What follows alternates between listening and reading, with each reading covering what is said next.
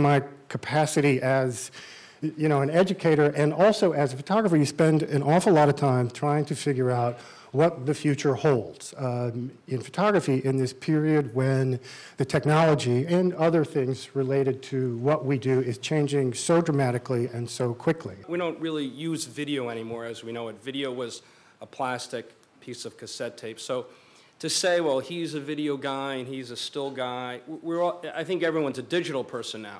cheap digital cameras, uh, laptop computer, and anybody can can be a photographer. But I don't think that takes away from uh, people who do that for a living. I think that it's um, it's a way to get quick quick material when they need it. A still photographer's reputation lies more often than not in certain situations with their ability to anticipate a moment, hit the shutter release, the mirror goes up, exposes the sensor, and you either have it or you don't have it.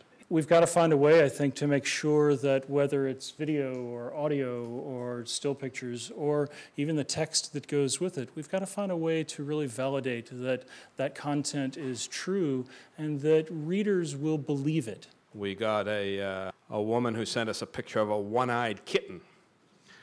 And we looked at this and we thought, this is remarkable. Let's see what this is all about. So we uh, contacted the woman. Uh, we looked at the whole take of images. We talked with her. We put this picture of the one-eyed kitten out on the wire.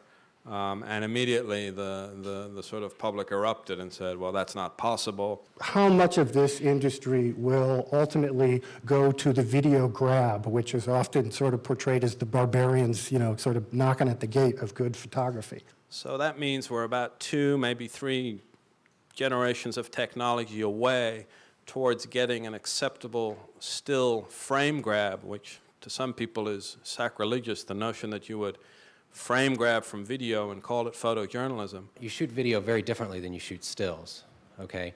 Stills, you're going for a moment, and you're going for layers, you're going for, you know, foreground, middle ground, background. Um, and stills, you have the ability to compose more of a complicated composition, I would argue, because the user has more time uh, with, the, with the image. Uh, video, you don't, because video stays on the screen, each image stays on the screen for, say, two, three, four seconds.